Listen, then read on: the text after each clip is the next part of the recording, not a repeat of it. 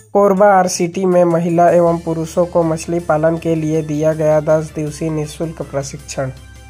ग्रामीण स्वरोजगार प्रशिक्षण संस्थान यानी आरसीटी कोरबा में करतलाब ब्लॉक के तेईस महिला एवं पुरुषों को दस दिवसीय निःशुल्क मछली पालन का प्रशिक्षण दिया गया। प्रशिक्षण में प्रोजेक्टर द्वारा मछली पालन की विधि, मछलियों के प्रकार इत्यादि विषय पर प्रशिक्षण दिया गया। साथ ही प्रशिक्षण के दौरान प्रशिक्षार्थियों को प्रैक्टिकल भी कराया गया और मछली में होने वाले बीमारियों के अलावा विभिन्न जानकारी भी दी गई। हमारे यहाँ तेरह मार्च से लेकर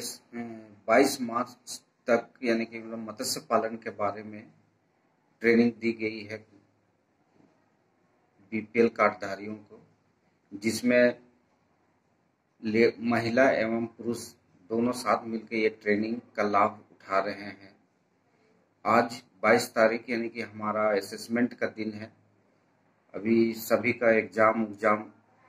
पूरा हो गया है। प्रैक्टिकल भी पूरा हुआ और इससे मतलब गाँव के जितने भी मतलब प्रशिक्षण प्राप्त करने आए हैं सभी यानी कि मत्स्य पालन का बहुत ही ए, सफल पूर्वक, यानी कि मतलब अपना ट्रेनिंग प्राप्त, प्रशिक्षण पूरा किए, जिसमें जो ट्रेनर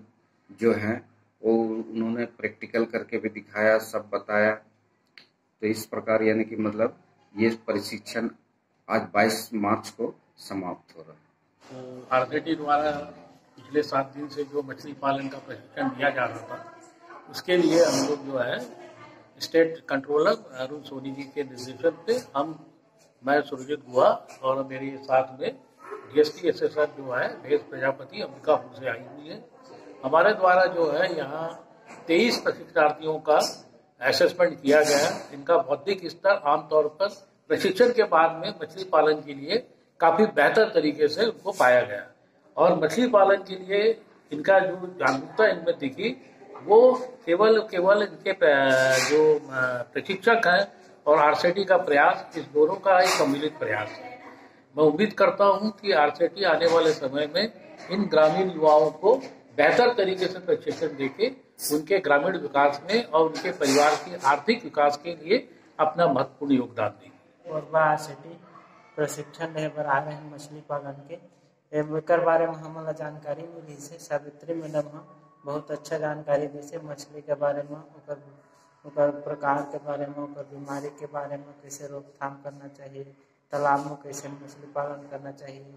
कैसे सिंचाई करना चाहिए, और